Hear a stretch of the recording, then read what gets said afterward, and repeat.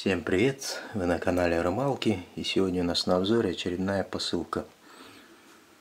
Прежде чем начать ее рассмотрение, я вам напоминаю, что мои видео выходят каждый понедельник, среду и пятницу регулярно, каждую неделю.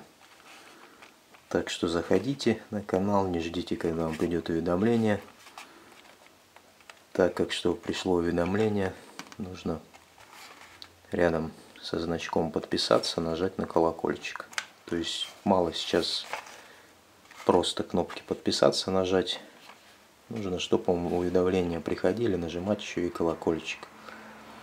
Чтобы не вышло недоразумений, чтобы вы не думали, что видео мои не выходят уже. А они выходят регулярно у меня. Понедельник, среду и пятницу. Ну а сейчас приступим к распаковке данной посылки. Данной посылки пришло два лота, которых я заказывал. То есть воблер, ну его пока в сторону отложим. И вот такая блесна Кастмастер. Ну, копия Кастмастер фирмы Проберес. Фирма довольно хорошая, мне она нравится.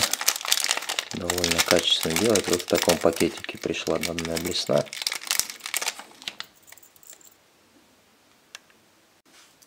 Блесну я заказывал 18 грамм. Там есть вообще граммовки любые, на любой вкус, на любую рыбу. Там вплоть там чуть ли не до 50 грамм.